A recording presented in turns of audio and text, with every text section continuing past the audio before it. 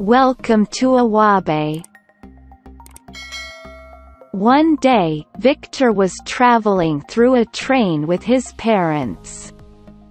All the time he was glancing at his new shoes that his father had bought for him.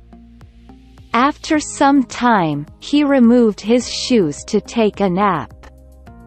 When he woke up, he found one of the shoes missing. He started crying loudly. His parents tried to console him.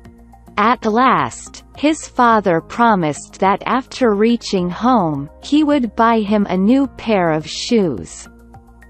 Hearing this, Victor got so excited that he threw the other shoe out of the train.